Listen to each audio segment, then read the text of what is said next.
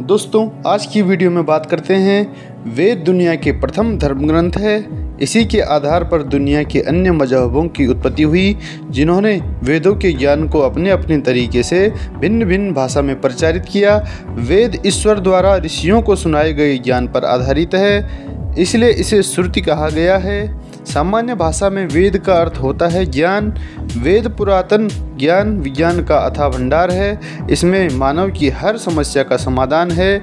वेदों में ब्रह्म देवता ब्रह्मांड, ज्योतिष, गणित, रसायन, औषधि, प्रकृति, खगोल, भूगोल, धार्मिक नियम, इतिहास रीति रिवाज आदि लगभग सभी विषयों से संबंधित ज्ञान भरा पड़ा है। सतपथ ब्राह्मण के श्लोक के अनुसार अग्नि, वायु, आदित्य और अंगिरा ने तपस्या की और ऋग्वेद, यजुर्वेद, सामवेद और अथर्वेद को प्राप्त किया। प्रथम तीन वेदों को अग्नि, वायु, सूर्य से जोड़ा जाता है।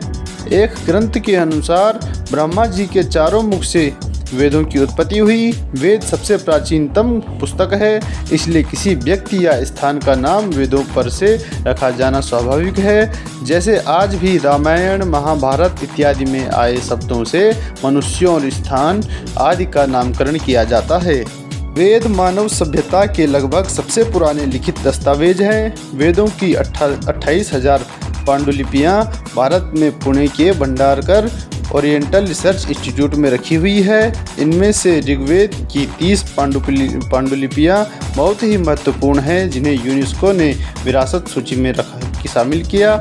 यूनेस्को ने ऋग्वेद की 1800 से 1500 ईस्वी पूर्व की 30 पांडुलिपियों को सांस्कृतिक धरोहरों की सूची में शामिल किया है।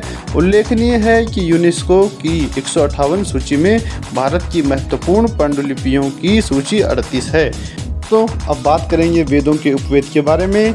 ऋग्वेद का आयुर्वेद, यजुर्वेद का धनुर्वेद, सामवेद का गंधर्ववेद और अथर्वेद का सापथ्य वेद ये क्रमशः चारों वेदों के उपवेद बतलाए गए हैं। वेद के विभाग चार हैं, ऋग्वेद, यजुर्वेद, सामवेद और अथर्वेद ऋग स्थिति, यजु रूपांतरण, साम गतिशील और अथर्व मतलब जड़। ऋग को धर्म, यजु को मोक्ष शाम को काम अथर्व को अर्थ भी कहा जाता है। इन्हीं के आधार पर धर्मशास्त्र, अर्थशास्त्र काम शास्त्र और मुख्य शास्त्र की रचना हुई है।